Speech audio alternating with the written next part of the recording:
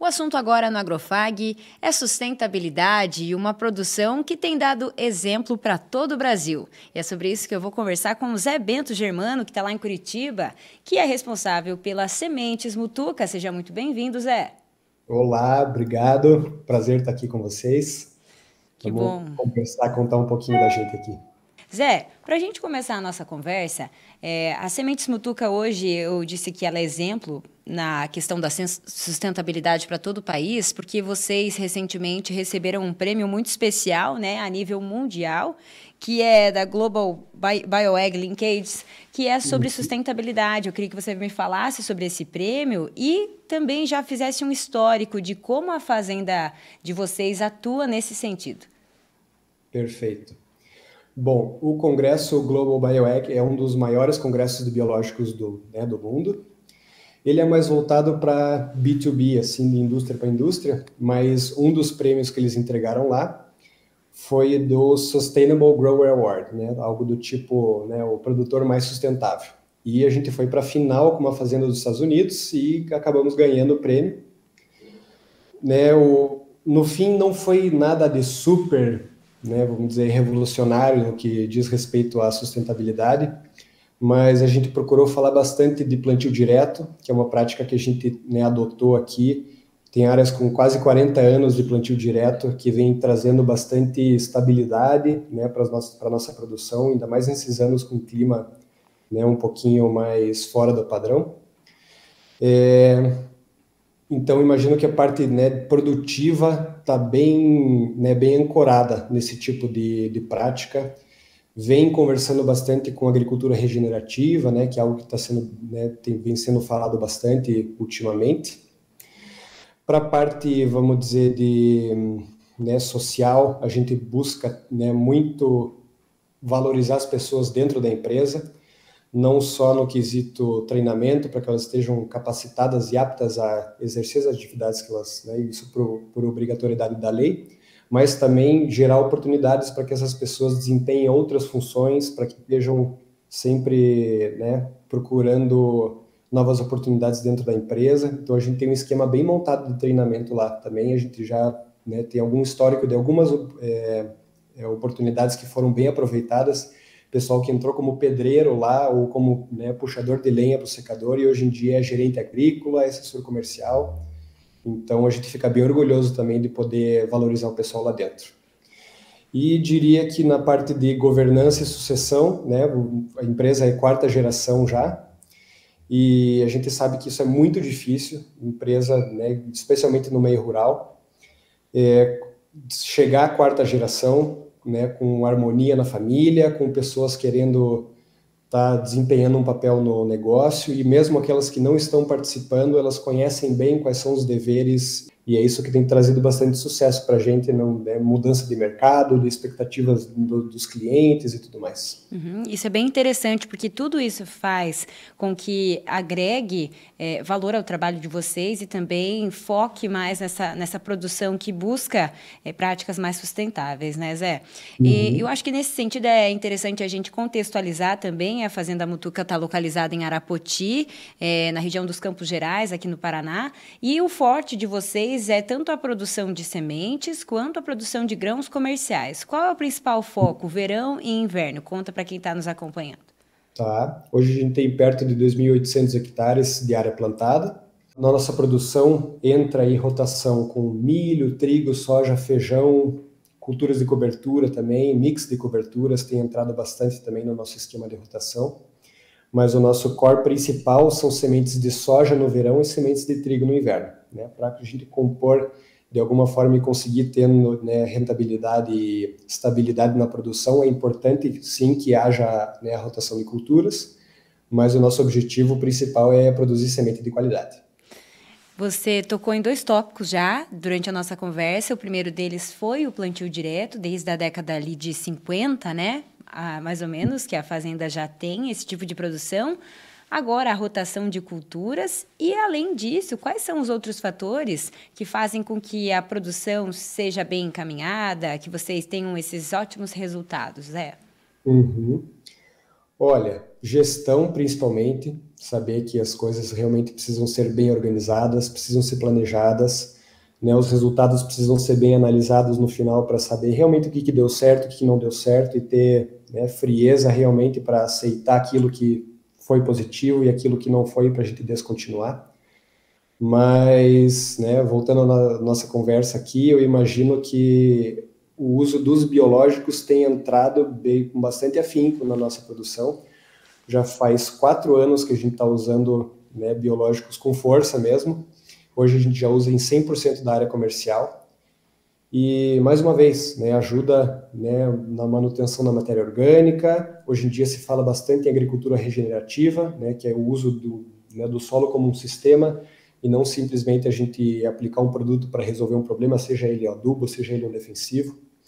Então, a gente criar cada vez mais condições para que aquele sistema de solo, planta e atmosfera consigam trabalhar né, em conjunto para né, produzir uma planta saudável que seja capaz de se defender, de se nutrir. E né, a nossa busca é criar um, né, comunidades e um ambiente ali dentro do solo, vem sendo bem explorada essa parte da biologia hoje em dia.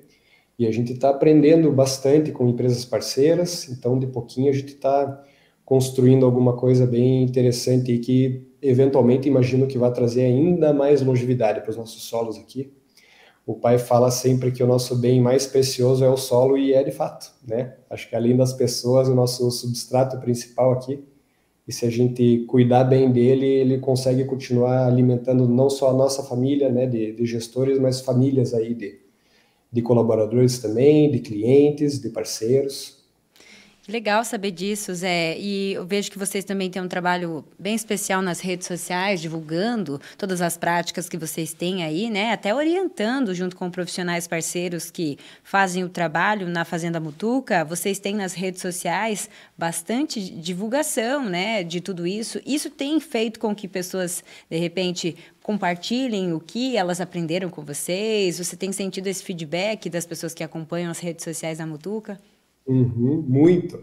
Né? O nosso intuito não é ser professor de nada, é dizer que a gente sabe mais que outros. Né? O nosso intuito é só compartilhar o conhecimento, porque a gente sabe, né? Eu, eu acredito muito que na agricultura a gente não tem concorrente. Né? Eu não tenho por que esconder nada do meu vizinho, nada de outro produtor de sementes, inclusive, porque né, o, o agro aqui é Brasil inteiro. Então todo mundo tem que se dar bem. E, né, de novo, nosso intuito é que não só a gente, mas todas as pessoas que fazem parte desse contexto da Mutuca também possam produzir mais, possam render mais. E a gente acredita bastante que compartilhar conhecimento é, um excelente, é uma excelente maneira de fazer isso. Porque a gente vive muita coisa lá, a gente tem bastante empresa né, fazendo experimentação, a gente tem instituto de pesquisa, a gente tem universidade lá dentro também. Então tá, tem muito conhecimento sendo gerado lá e a gente procura ser sempre transparente com, né, de novo, o que dá certo, o que não dá certo, passar isso para frente e buscar sempre também que as pessoas né, retornem com experiências, porque no fundo né, o, né, o, o, que vem de semente, o que vem de grão não é o comercial. O que vem de semente realmente é essa história, né, esse interesse realmente mútuo com o cliente. E eu acho que o pessoal valoriza bastante essa, essa questão da gente realmente estar tá participando da vida dele. A gente tenta fazer uma venda bastante consultiva, realmente para entender qual que é a dor dele, como é que a gente pode ajudar. Então, acho que essa divulgação aí do que acontece aqui dentro tem ajudado bastante. Que ótimo, que ótimo. Zé, para a gente também destacar uma situação que vocês também compartilham lá nas redes sociais, é poupar a utilização de alguns produtos químicos, né? É, com a, a utilização dos biológicos, o que, que vocês tiveram já de respaldo e de resposta ao uso de produtos biológicos ou até práticas né, de rotação de culturas, de plantio direto. O que vocês tiveram já como é, resultado para poupar outros tipos de nutrientes que antes eram necessários de serem é, utilizados aí na propriedade, como de repente é, adubo nitrogenado ou algo do tipo? O que, vocês já conseguiram poupar? Uhum. Bom, primeiro eu gostaria de salientar que a parceria que a gente tem com a Biotrop é, realmente né, tem trazido excelentes resultados para a gente, não só na questão né, de economia de, de, de, produtos e de insumos, mas eles têm trazido uma visão muito interessante realmente do que são os biológicos. O que, que a gente tem visto? Né? Em grande parte da nossa área, por exemplo, a gente não utiliza mais cloreto do potássio, porque a gente sabe que existem micro-organismos, existe um banco muito grande lá dentro desse, né, do, do nosso solo, que acaba não sendo acessado pela planta tão facilmente uma comunidade de micro-organismos específica consegue disponibilizar esses, né, esses nutrientes para as plantas. A gente teve bastante problema nos últimos anos com cigarrinha do milho também, que a gente conseguiu reduzir algumas aplicações com a aplicação de alguns micro-organismos também, né, nas plantas de milho mais jovens. Então, tudo isso né, pode parecer incremental, né, mas eu acredito bastante que de pouquinho a gente vai mudando. Eu imagino que a gente não vai conseguir eliminar 100% os químicos, porque né, a pressão é muito grande em alguns anos, que existe condição de umidade temperatura, mas que realmente a gente consegue ir adaptando para ter um residual menor nas plantas, né, para conseguir um produto de melhor qualidade lá no final. Os biológicos realmente têm trazido bastante benefício para a gente aqui. É um conjunto, né? Tanto a utilização dos químicos que são realmente é, necessários e também os biológicos para fazer um equilíbrio aí nessa produção. E para a soja, você destacou o milho, né? O manejo da cigarrinha, do complexo de enfesamento, e para a soja, de repente, também com a co-inoculação, o uso desses micro-organismos também tem tido resultado positivo. Uhum. É, hoje o que eu disse para você que a gente usa 100% da área comercial, a gente faz inoculação no suco de plantio. Então, ao invés de fazer no, via tratamento de sementes, a gente faz inoculação, porque a gente tem enxergado que né, esse trabalho conjunto aí do, do microorganismo via tratamento de sementes com a coinoculação no suco de plantio é, tem gerado resultados melhores. Mas o fato da gente colocar o microorganismo lá dentro do suco realmente né, tem trazido um benefício diferenciado, porque a gente sabe que a gente está lidando com um organismo vivo. Né? Existe muita tecnologia das empresas em cima de desenvolvimento de, de um produto que tenha mais durabilidade, que consiga aguentar mais né, um sol forte o dia inteiro. Então, tudo isso vem ajudando bastante ali, principalmente a cultura da soja. Eu vejo essa questão de construção de matéria orgânica, né? Que às vezes a gente fica só pensando em nutriente, em qualidade de grão, qualidade de semente, mas a gente tem que pensar que né, eu tenho um pensamento que eu gosto muito que não está nutrindo a planta, você deve, fertilize o solo e deixe que o solo fertilize a planta. E eu acho que é mais ou menos esse o caminho. Hum, é isso aí. Zé, a gente agradece pela sua participação aqui conosco no Agrofag, compartilhou várias ideias bacanas aí da fazenda de vocês e da produção. E até a próxima oportunidade para compartilhar e seguir fazendo uma agricultura mais sustentável pelo Brasil. Show demais. Agradeço a oportunidade mais uma vez, agradeço o pessoal que está participando junto aí e estamos à disposição sempre.